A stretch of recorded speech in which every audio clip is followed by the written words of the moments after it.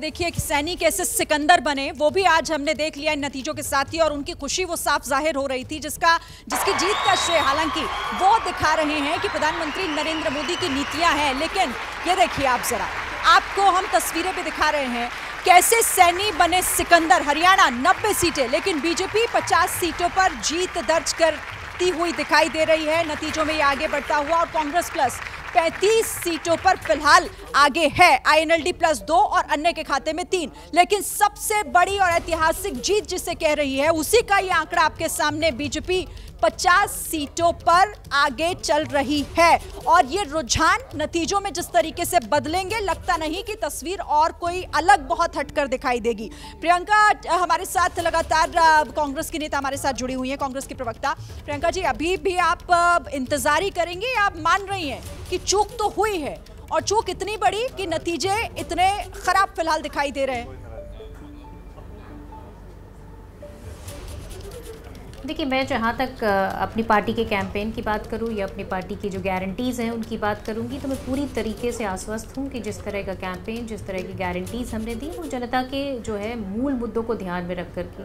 और ये चुनाव वाकई में जो मुद्दे थे, वो स्थानीय मुद्दे थे, जिसमें आपके छोटे छोटे मुद्दे होते हैं सड़क की समस्याएँ और नौकरी की समस्या महँगाई की समस्या ये सारी समस्याओं से जुड़े हुए ये चुनाव था और चुनाव को पूरी तरीके से हमने केंद्रित रखा उन्हीं बिंदुओं पर।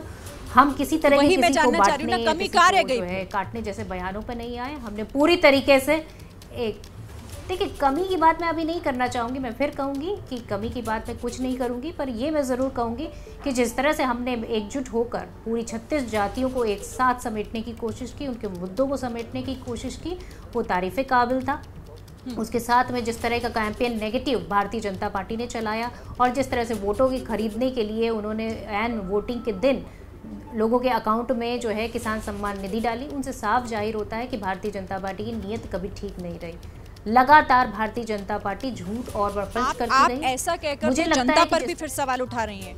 आप सवाल जनता पर भी उठा रही हैं ना क्योंकि ये जो मैंडेट है ये जो नतीजा है वो तो जनता ने ही तय किया है ना कि किसे जिताना है और किसको किस पर उन्हें भरोसा करना है। ये तो पूरी तरीके से उनका अधिकार है। नहीं, पूरी तरीके से उनका अधिकार है, पर ये अधिकार जिस तरह से हम हम अपने मुद्दों की बात करेंगे तो हम पूरी तरीके से जेनविन मुद्दे थे, पूरी तरीके से जो मुद्दे थे, वो जनता के मुद्दे थे और लगातार हम देख रहे थे कि उसको चाहे जो आपके एग्जिट पोल के आंकड़े हों, चाहे जनता का मूड हो, चाहे जो सर्वे हो, जिस तरह से निकल के आ रहे थे, वो कांग्रेस के फेवर में थे। अचानक से सारी तस्वीर चेंज हो जाती है और उसका रीज़न क्या होता है कि इलेक्शन कमीशन की वेबसाइट पूरी तरीके से जो है दो तीन घंटे फ्रीज भी रहती है। लगातार हमें ये कंप्लेन करनी पड़ती है। तो पूरी तरीके से इलेक्शन कमीशन की जो कार्य प्रणाली है, उस पर भी संदेह की स्थिति है और पूरी तरीके से हम आश्वस्त थे कि ये पूरी तरीके से जो है जनता के मुद्दों पर चुनाव होगा।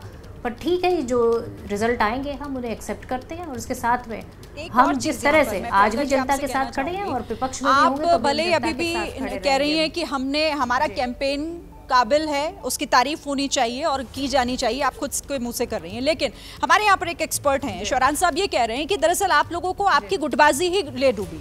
आपसी मतभेद से आप लोग उभर ही नहीं पाए। चाहे अलग अलग कैंप को एकजुट करना हो उसमें कहीं ना कहीं आप लोग नाकामयाब रहे हैं। ये मानेंगे आप? देखिए, भारतीय जनता पार्टी ने एक तरह का नेगेटिव कैंपेन चलाया क्योंकि वो चाहते थे कि हमारी पार्टी में फूट पड़े, पर उसको आदरणीय शैलजा जी ने पूरी तरीके से खंडन भी किया और वो मैसेज पूरी तरीके से गया भी, मंच पर दोनों ने हाथ में भी मिलाया और उसके साथ में राहुल गांधी ने जिस तरह से छत्तीस जातियों की बात की तो वो पूरी तरीके से अपने आप में ही पूरी तरीके से जो है, एक साक्ष्य था, जो जनता के सामने था।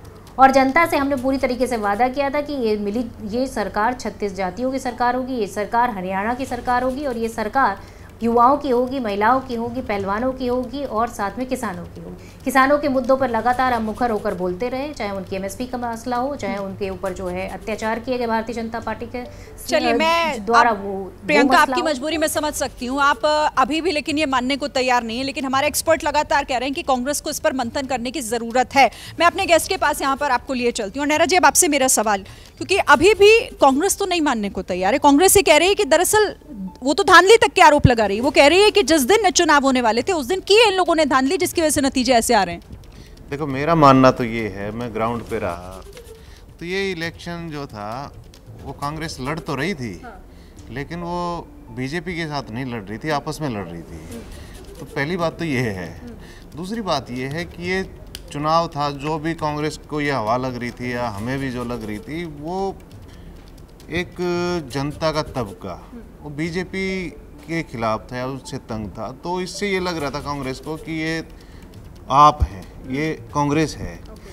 तो कांग्रेस में तो जो लड़ाई देखी हमने वो टिकटों की मारामारी में देखी वहाँ भीड़ देखी ग्राउंड पे तो कोई काम किया ही नहीं ना इन्होंने संगठन बनाया संगठन तो इनका चौदह पंद्रह साल से मेरे ख्याल से है ही नहीं पूरे स्टेट में हरियाणा में। जिला स्तर पे अगर कोई पूछे कि आपका जिला अध्यक्ष कौन है आपका ब्लॉक अध्यक्ष कौन है तो है ही नहीं। तो कांग्रेस क्या है कि कांग्रेस लड़ तो रही थी लेकिन आपस में लड़ रही थी और वही लड़ाई इनको ले बैठी। ठीक है। यानी आप ये कह रहे हैं कि कांग्रेस दरअसल कांग्रेस को एक ऑप्शन के तौर पर देख तो रही थी जनता लेकिन कांग्रेस ने उस तरीके से ना तो काम किया और ना ही जनता का भरोसा जीत पाई जिसकी वजह से हालात फ़िलहाल ये दिखाई दे रहे हैं। जैसे ही घड़ी का काटा दोपहर ढाई पे आए बबीता जी का दिल सास बहू साजिश के लिए मचल जाए। और ये है इनकी बहू। पूरे दिन ऑफ़िस की टेंशन हो जाए गॉन जब ये करें अपना फेवरेट शो फ्री टाइम पे ऑन इनकी तरह, आप भी देखिए अपना फेवरेट शो अपने टाइम पर. और डाउनलोड कीजिए एबीपी लाइव ऐप अपने स्मार्ट टीवी पर.